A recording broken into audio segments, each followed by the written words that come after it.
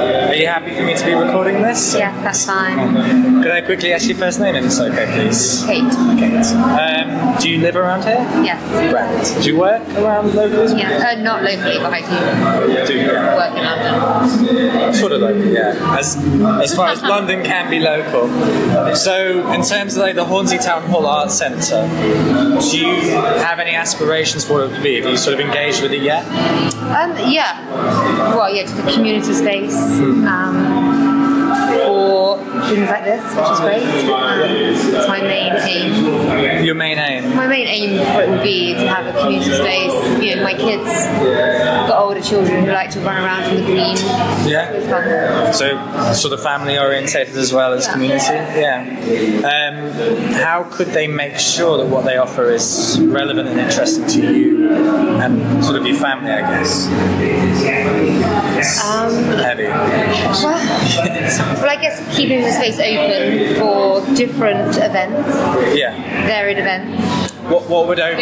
food, art, crafts. What would open constitute in terms of sort of like open in terms of plural or open in terms of sort of times?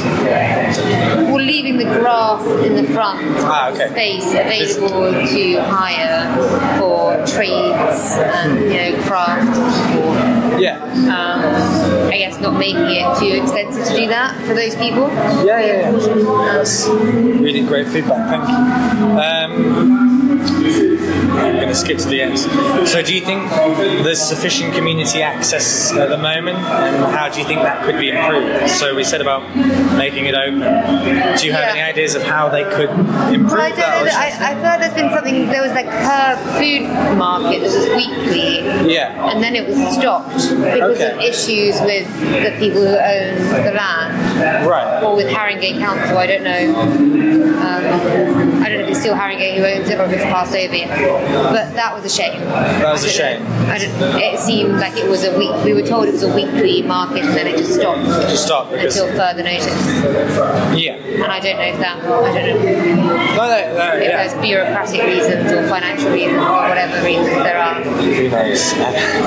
um, and quickly, do you have any concerns about this development that's happening around here? My only concern was if they if they put the prices too high for these things to happen. If it's in private hands So to keep it affordable, Yeah.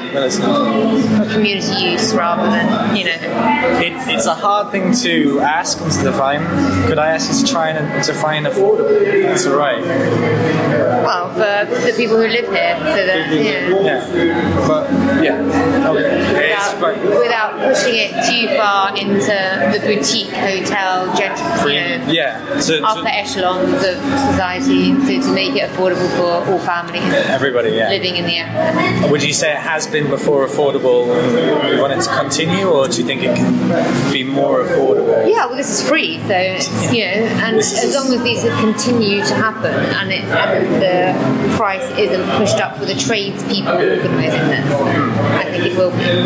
Yeah. So affordable those rather than the people coming. I think the event should always be free. Thank you. Very quick. Cheers. Thank.